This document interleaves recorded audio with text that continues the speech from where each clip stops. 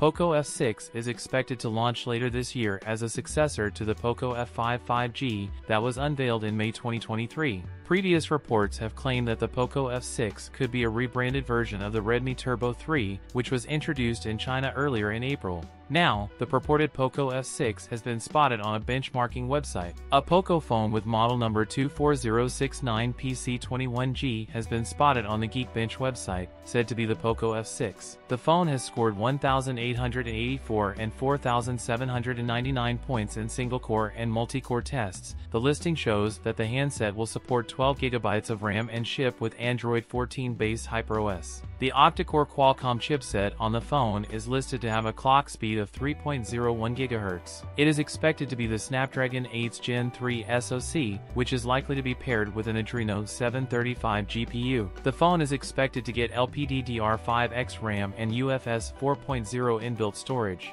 It will have a 6.78-inch OLED display, the screen will have 1220p resolution with 144Hz display refresh rate, with 2400 nits peak local brightness. A recent report claims that the POCO F6 will likely be equipped with a dual rear camera unit that could include a 50-megapixel Sony IMX920 primary sensor alongside an 8-megapixel Sony IMX355 sensor paired with an ultra-wide lens. A 20-megapixel selfie camera, the handset is expected to pack a 5000 mAh battery with 90W wired charging support. Based on earlier rumors, the POCO F6 will arrive in May or July, possibly first in India. That's it for today's video. If you enjoyed it, don't forget to like, comment, and subscribe for more content. Thanks for watching, and I'll see you in the next one.